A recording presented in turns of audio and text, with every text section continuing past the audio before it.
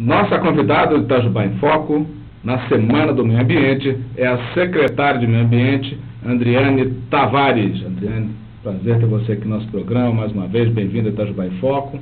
Obrigada, Tati. Homenageada na Semana do Meio Ambiente. Olha, Andriane, você conseguiu um feito que eu acho que é inédito, é uma pessoa de cargo de confiança que atravessou, tem atravessado três gestões de prefeitos diferentes o que prova a sua eficiência. E você saiu do cargo de direção e assumiu a secretaria. E daí essa homenagem, como é que foi a emoção dessa homenagem lá, essa surpresa lá no Horto?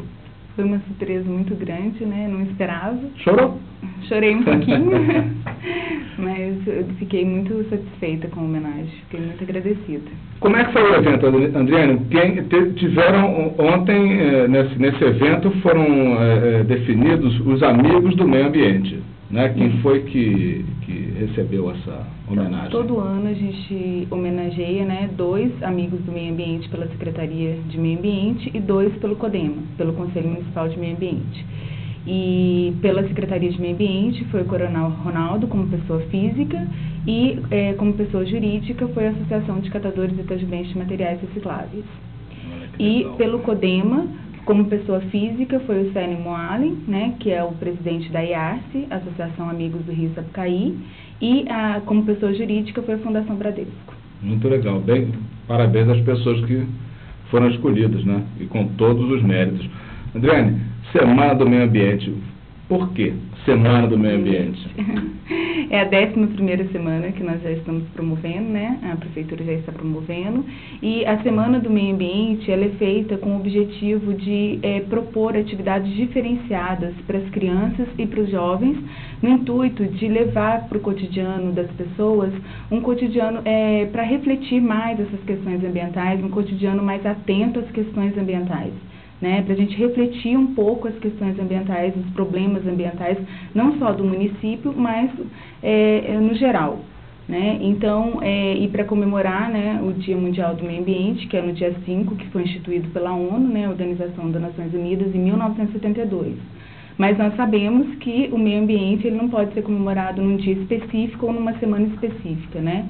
É, nós devemos trabalhar o meio ambiente todos os dias. Yeah.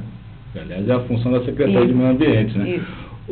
É, o que é que está nessa programação que você pode destacar para a gente? Porque a semana começou nesta terça-feira, né? Ela deveria começar segunda, mas com problema de chuva, ela começou na terça-feira? É, a abertura só que uhum. foi na terça-feira, tá? Teve crianças, teve atividade com as crianças na segunda, na né? Segunda. A nossa programação do dia 1 ao dia 3 foi com atividades é, educativas para as crianças da rede municipal e aberto também para as crianças da rede estadual e particular. Uhum. E no dia 4 e dia 5, nós estaremos fazendo um seminário de meio ambiente e energias renováveis junto com a Unifei, tá? que vai ser no auditório da Elétrica, com uma apresentação, com palestras bem interessantes voltadas para essa questão de meio ambiente e energia renovável e com apresentação de trabalhos e visitas técnicas. Ou seja, as, as atividades com as escolas estão acontecendo aonde? No Horto Florestal. No Florestal. Isso começou na segunda, vai até? Até dia 3. Até dia 3. Isso. Uh, o que está acontecendo? Essas atividades são o quê? Porque eu vi que tinha uma exposição montada lá. Isso, tem apresentação de uma peça teatral, a Formiguinha Garrafa Pet, tem trilhas, é, trilhas ecológicas e tem também uma exposição com material reciclado, feito por uma artesã chamada Ludinha né, e a Ana. Né? Então, uma exposição bem interessante, feita todos com materiais reciclados. Aliás, materiais. aliás se me permite, André, a observação, é um, são trabalhos de extremo bom gosto, né, feitos por, pela, pela artesã Lourdinha, e vale a pena até ir lá conferir, né, tem algumas coisas, ela aproveita carrossel de, de, de fio de alta tensão, né, é, folha de bananeira, trapo, pedaço de pau, faz. Eu vi um colar feito de macarrão, muito, muito, interessante. muito interessante a ideia, é muito legal. É. E, e mas na área, uh, tem uma, na área onde estão tendo as peças de teatro, também tem algumas coisas expostas, que eu vi lá a Copasa. Isso, tem os estantes, né, dos uhum. nossos parceiros, que é o Quarto Batalhão, o Corpo de Bombeiro, a Copasa, né, a IASE, a, o curso de Biologia. Né? Então tem as estantes expondo materiais para as crianças voltados para a questão ambiental também.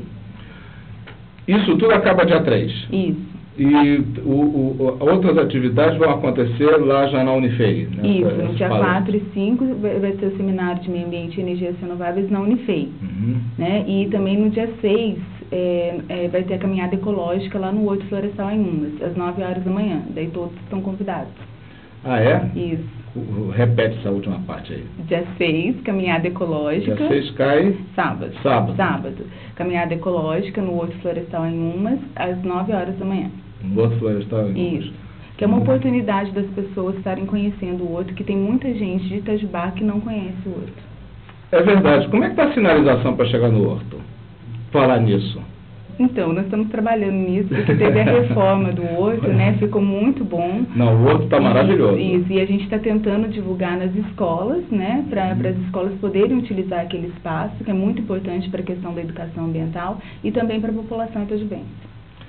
Então vai ter placa indicativa, mas independente disso, pô, quem não sabe, o horto, para se localizar, ele fica atrás do agrícola. Isso, né? isso, do lado do CEP. Do lado do CEP, exatamente. Isso. E é um lugar muito legal, muito legal. Aliás, os macacos ainda lá habitam? Tem uma família de macacos.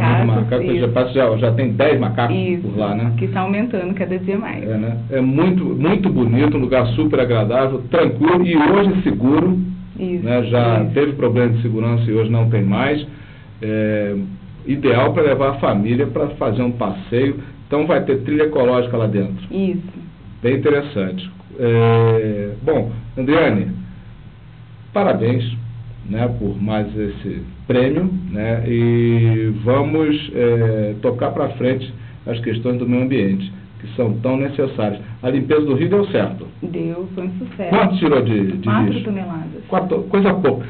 É interessante, nós ainda vamos fazer essa matéria sobre a, a água que nós bebemos. Aí as pessoas, quando jogarem um fogão dentro do rio, vão sofá. pensar sofá, Sofá. vaso sanitário e por aí vai. É. Vamos pensar duas vezes que a água, eh, antes de jogar o lixo que eles jogam, vamos pensar duas vezes que a água que eles bebem sai dessa mistura toda. Né? É verdade. A água é captada do rio Sapucaí, de onde você joga o lixo da sua casa. Então, pense bem antes de jogar lixo. Nós né? já estamos nos preparando para terminar o trecho do Rio Sapucaí que falta, essa limpeza, porque é uma meta do Dr. Jorge, né, fazer a limpeza geral da cidade. E além de fazer a limpeza, a gente está trabalhando também com a conscientização da população, que isso é muito importante. Não adianta a gente executar a limpeza se depois vem a população e joga de novo. Então, além de executar a limpeza, nós também estamos fazendo um trabalho de conscientização com a população. Mostrar que no, no Rio é, não é lugar de colocar o lixo. O lixo tem um lugar, é, tem que receber o tratamento e a disposição adequada. Se me permite a observação, Adriane, jogar lixo no rio é pior do que esconder lixo debaixo do tapete. Porque o lixo que você joga no rio é água que você vai beber depois. Então, né? É, então, é pense bem, pense bem.